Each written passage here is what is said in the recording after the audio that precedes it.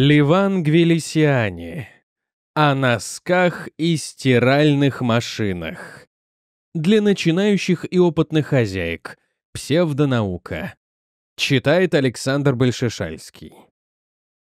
Повсеместно известно, как носки и чулки любят исчезать в стиральных машинах, и с каким удовольствием машины им в этом содействуют.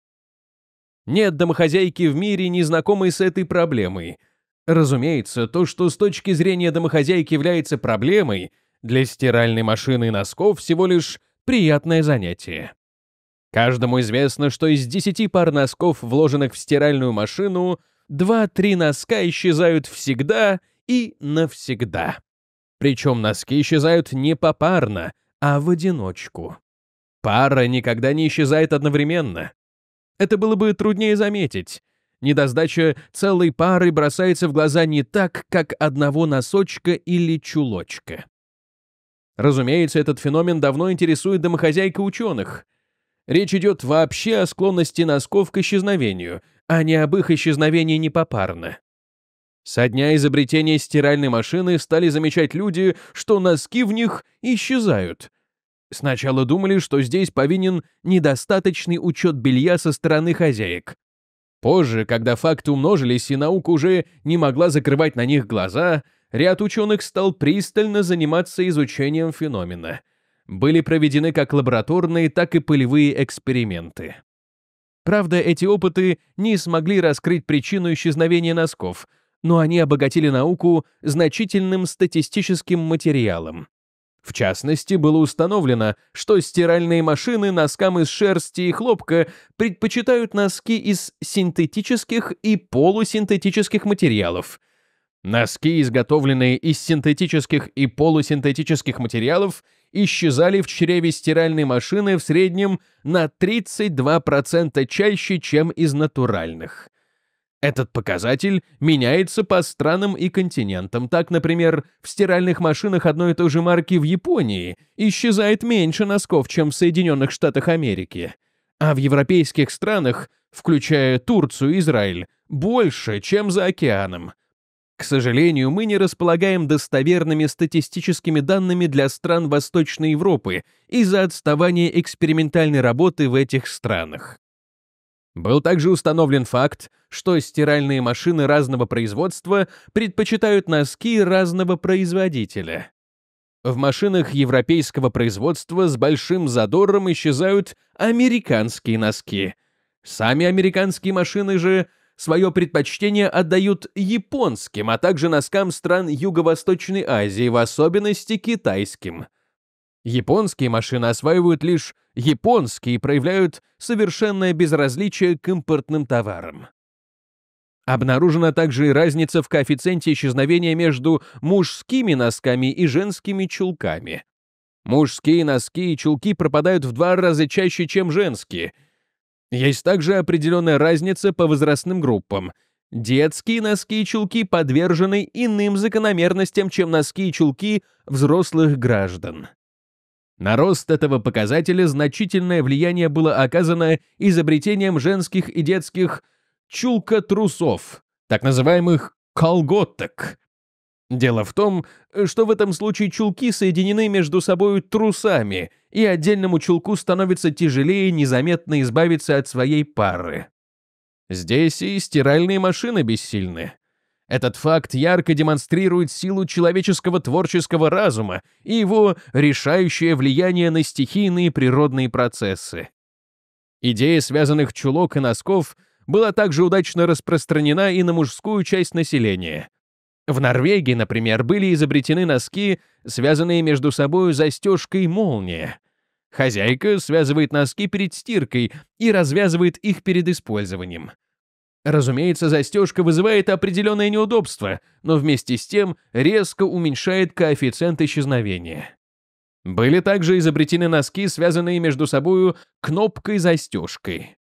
Для стиральных машин и для пропадающих в них носков в некоторых странах это изобретение явилось уничтожающим ударом. Несмотря на все эти предохраняющие меры, часть домохозяек пренебрегает осторожностью в отношениях со стиральными машинами и стирает носки как прежде, не спаривая их. Из-за такого подхода к стирке число утерянных в стиральных машинах носков за последнее десятилетие не то что уменьшается, а постоянно растет. На коэффициент исчезновения носков имеет также влияние меры их загрязненности. Стиральные машины предпочитают менее загрязненные носки более загрязненным. Редко пропадает носок с дурным запахом.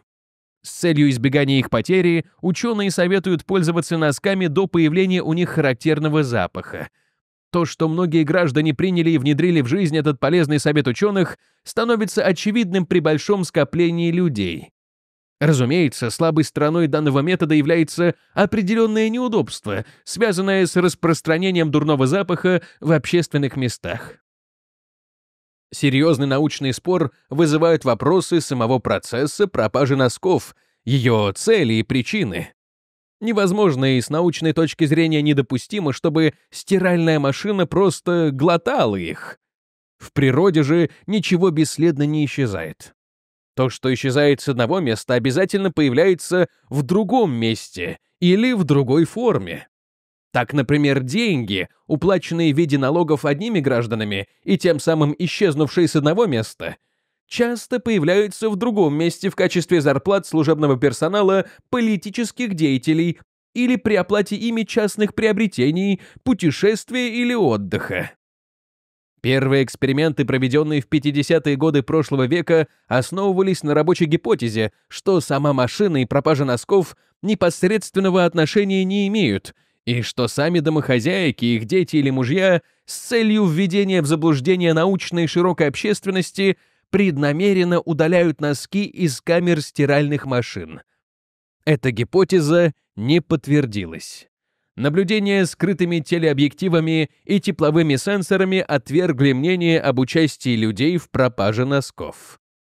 Позже были проанализированы химический состав воды, стирального порошка, полоскательных средств, так как, по мнению профессора Зока из химической лаборатории Массачусетского технологического института, МТИ, определенная констелляция составных веществ – участвующих в стирке, электрический и химический режим и прочее влияют на устойчивость синтетического волокна и в некоторых случаях вызывают абсорбацию ткани.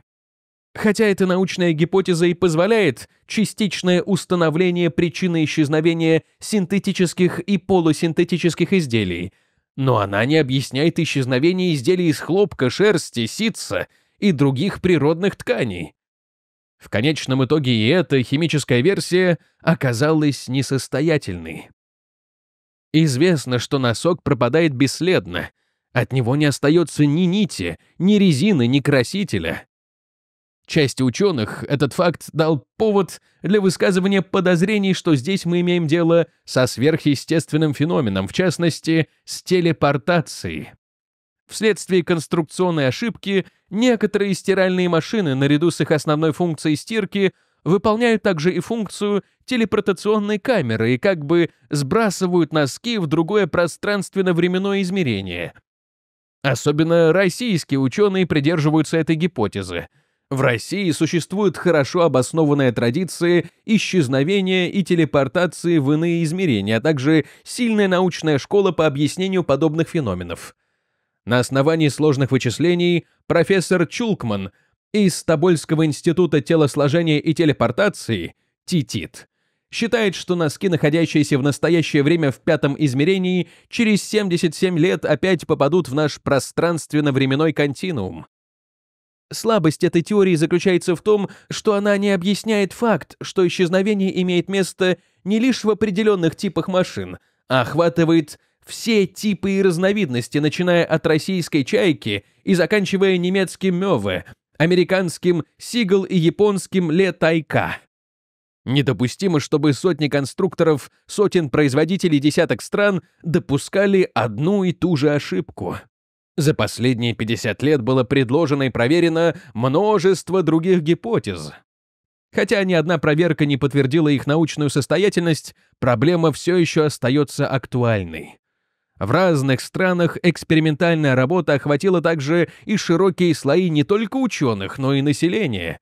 Так, например, в Бангладеш был создан Чрезвычайный комитет домохозяек, ЧКД, с целью проведения обширного синхронного эксперимента с участием сотен машин и домохозяек и нескольких тысяч носков. Хотя этот эксперимент пока не состоялся из-за регулярных помех подачи электроэнергии, Совет домохозяек надеется на его осуществление в ближайшем будущем. Наряду с серьезными научными гипотезами предлагаются также и объяснения, явно носящие спекулятивный характер и часто относящие феномен исчезновения носков к ряду мистических или религиозных явлений.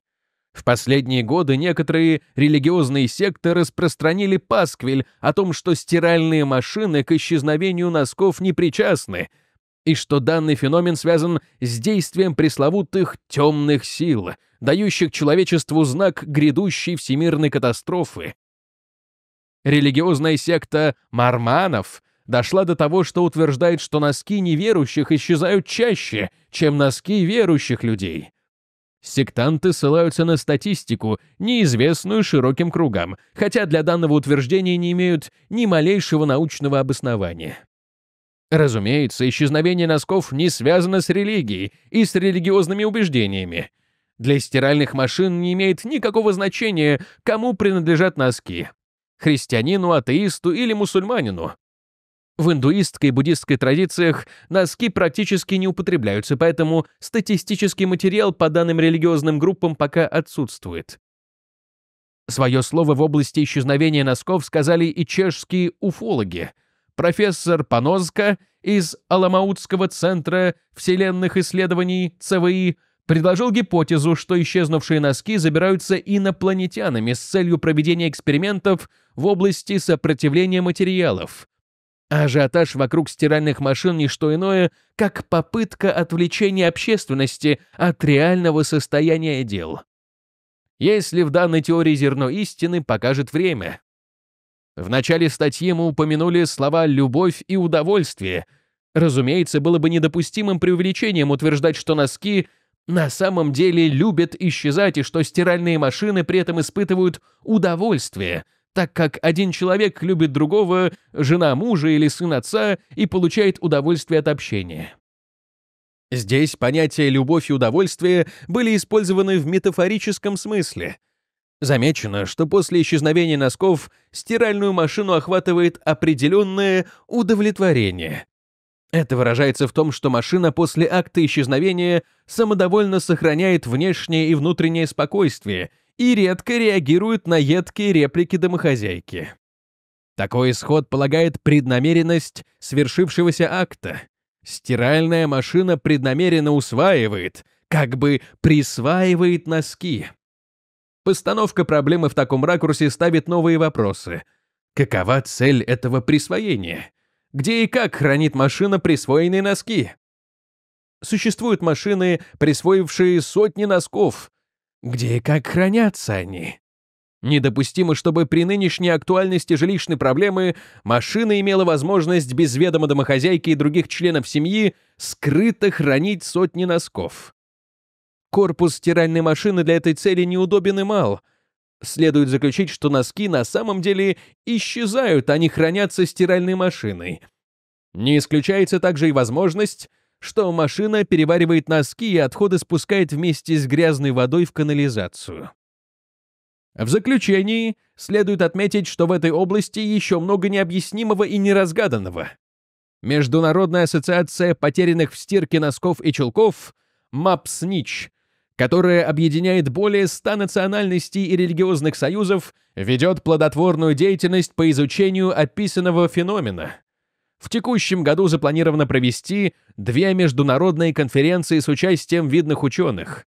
Кроме этого, МАПСНИЧ собирается обратиться к правительствам государств мира и к ЮНЕСКО, установить Всемирный день потерянного носка, который отмечался бы повсеместно. Готовятся и другие серьезные мероприятия.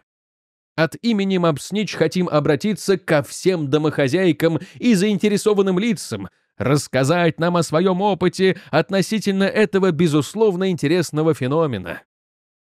Первый заместитель председателя Мапснич, доктор наук Леон Гвеленсон, Шато Леон. Большое спасибо за прослушивание этого ролика. Если вам понравилось, Я буду очень признателен, если вы напишите комментарий, даже просто сердечко или огонечек. Это поможет Ютубу понять, что это видео можно предлагать посмотреть другим зрителям. Неравнодушные люди, желающие поддержать меня и мой канал финансово, могут это сделать по реквизитам в описании. Спасибо всем большое.